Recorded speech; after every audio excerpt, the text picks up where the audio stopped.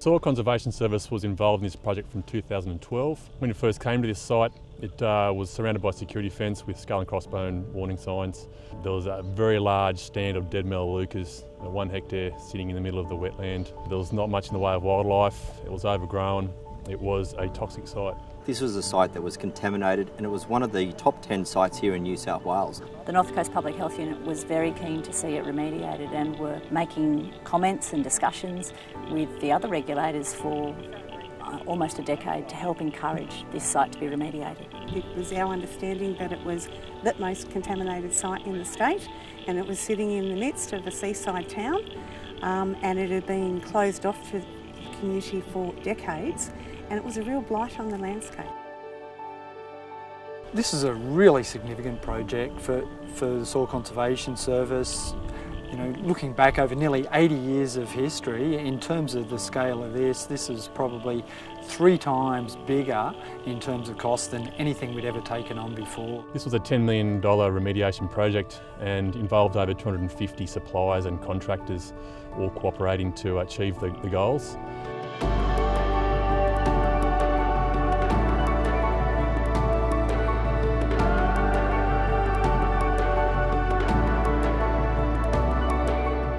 There was uh, contaminated water issues, there was fauna and fauna protection issues, there was occupational health and hygiene requirements which were very, very strict to ensure our workers were not contaminated with uh, arsenic, uh, antimony, mercury, lead, cyanide and cresylic acid. Being a state significant project, the Soil Conservation Service had to work in partnership with Crown Lands to deliver a best practice solution. It was a very high profile project with uh, many stakeholders uh, interested in its outcome. So with this we had to uh, implement uh, the latest technology including XRF uh, metal detector guns, GPS guided machinery, pioneering water treatment technology and low ground bearing pressure um, heavy machinery using floating excavators.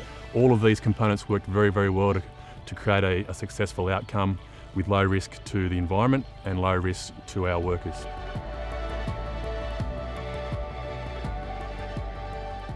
The project was located very close to residents. We had a preschool, uh, a motel and many residents along Hillside Drive, some as close as 15 metres from the boundary.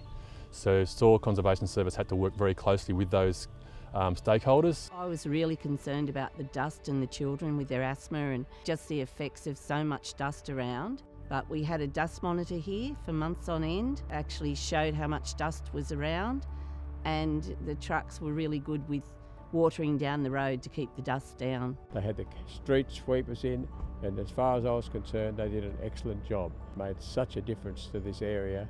We notice it now with the, uh, the people visiting the, the, site. The project was completed in 18 months and uh, later uh, another six months spent converting into a, a parkland uh, with access track and boardwalk, which is now open for the general public to use. Soil Conservation Service has taken this site from a contaminated wetland excluded from the public and delivered a wonderful community asset.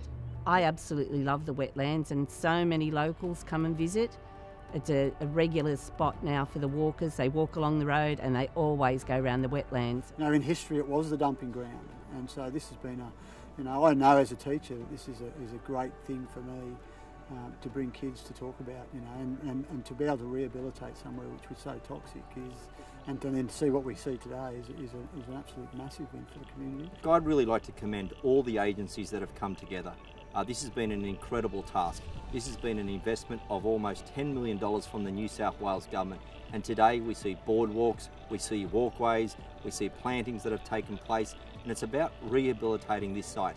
We're seeing the native bird life coming back into this area and importantly, it's important for future generations that we've protected this site. Now that we've got it fixed, now we've got this magnificent boardwalk, it's just another one of the incredible destinations that Urunga has. And everyone in the community that's uh, already had a chance to walk on it is saying this is amazing. And I think in terms of delivering what we have here, we've probably fair to say we, we have set the standard and um, you know, we've achieved something here we can be proud of and you know, generations will enjoy in the future.